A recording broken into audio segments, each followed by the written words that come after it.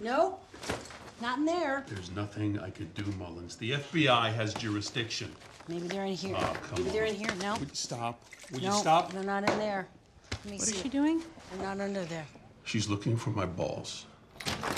Hey, if anyone's seen the captain's balls, let me know. They're about this big, but a lot tinier. They're like a pea, or like a like a ball bearing, or like if you've ever seen a mouse ball, about half that size.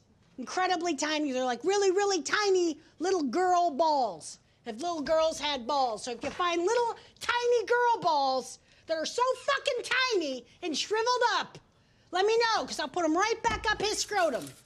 Knock it off, Mullins. How about you do something for once? What do you want me to do? Uh, I'd like you to have my back and stop being so goddamn disappointing like everybody else. Oh, well, that was professional. Or is that not professional? Here, let me let me be professional. Let me help you pick up your bag. That's very mature. Let me just straighten that. Shut up. Oh wait, hey, hey! Good news! Good news! I found his balls. Yeah, in a clear sack. Enjoy that. Shove those back up there.